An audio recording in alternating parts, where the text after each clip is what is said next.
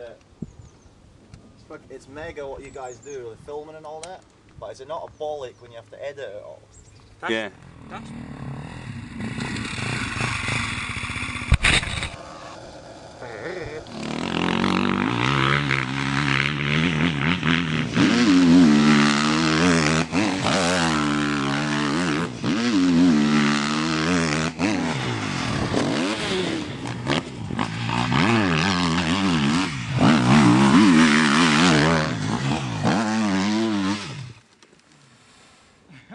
Too flat.